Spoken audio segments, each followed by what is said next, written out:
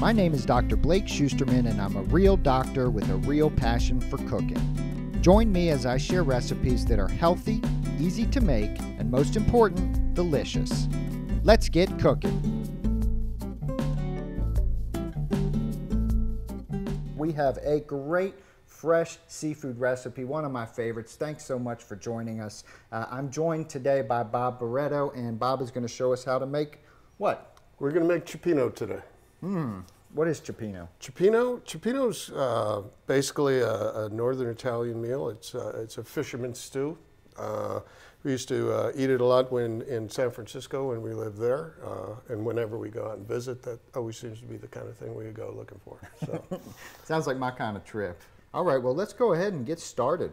Um, why don't you lead us through, Bob? All right. Um, I've preheated uh, two or three teaspoons. I don't measure anything. It looks like about two or three teaspoons of, of olive oil. And we'll start by cooking down uh, the uh, onions.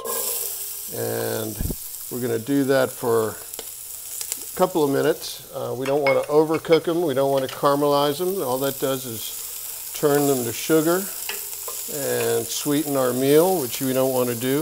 I've got this on medium and we will cook until they are translucent.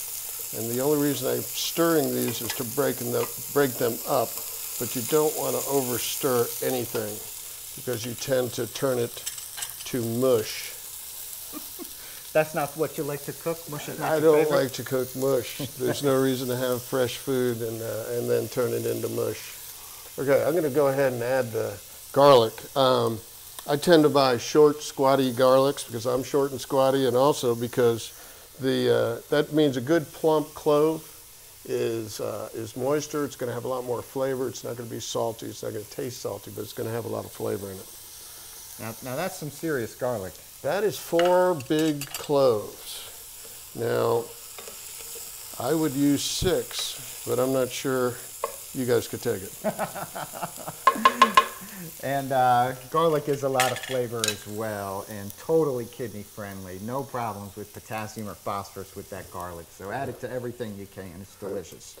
Okay, now we're going to start with uh, this is a 28 ounce can of uh, Italian tomatoes. The Italian tomatoes tend to taste a little better, in my opinion.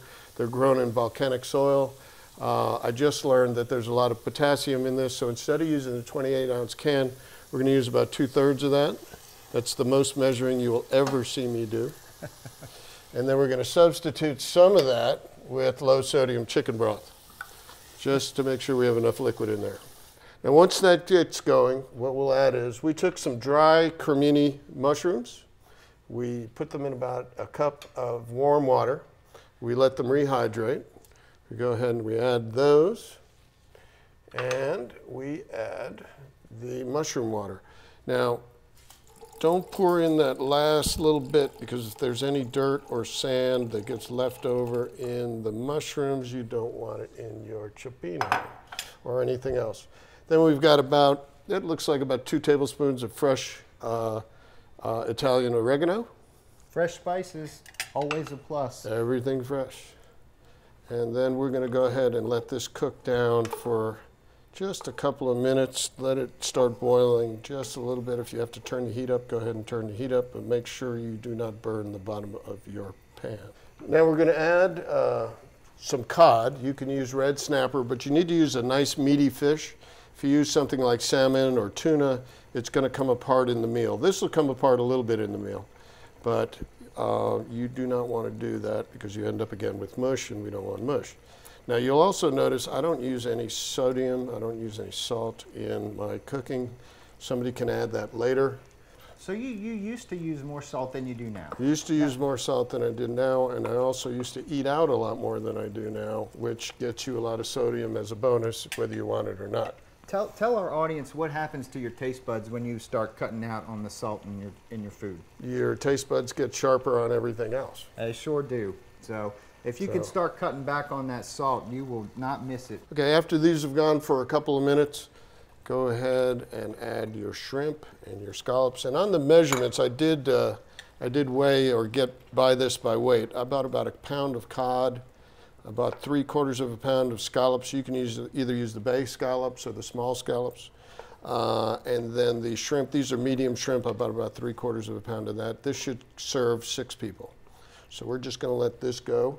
Now the last thing you add uh, before you uh, just let it cook for a little bit is red pepper. Now since I haven't eaten lunch, and this is going to be my lunch, that is about what you should add, which is just about a quarter of a tablespoon. But since, like I said, it's, since I'm eating here, we're dumping the rest of it in.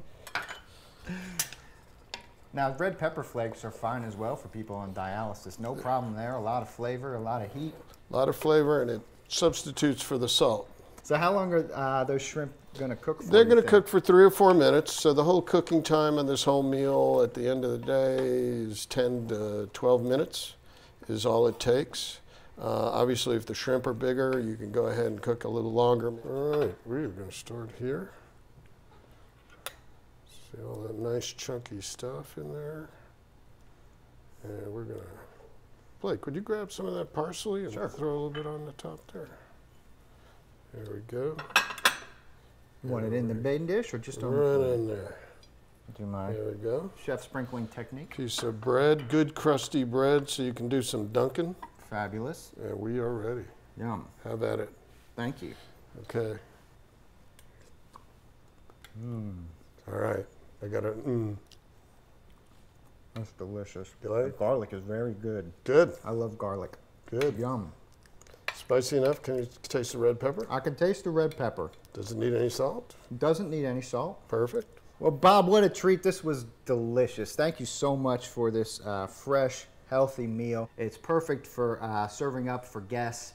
Uh, visit us at www.carolinanephrology.com slash cooking and see all our great recipes there. Thank you. Thank you for watching The Cooking Doc. Healthy cooking made simple and delicious.